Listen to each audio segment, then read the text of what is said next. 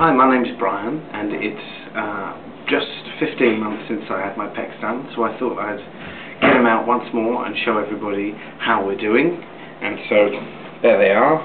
There's no big monologue this time because um, there's not so much to say. They don't hurt. Um, I do exercise a bit, so I keep everything else under control. The lipo seem to work. I put on some weight, but um, not a great deal and it's uh, it's May now, so with summer coming, then I'll probably get even fitter.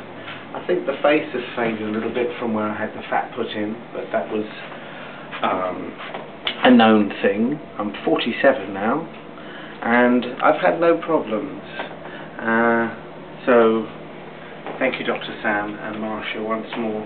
And I've seen things on the internet that are not always great about uh, Sam and this is only my experience and I suppose if you're a surgeon and you're chopping things then um, it'll be harder for some people and easier for others but uh, mine was okay once I recovered from it which took four or five weeks and now I'd hardly know they're there. There are few things, I can actually feel them.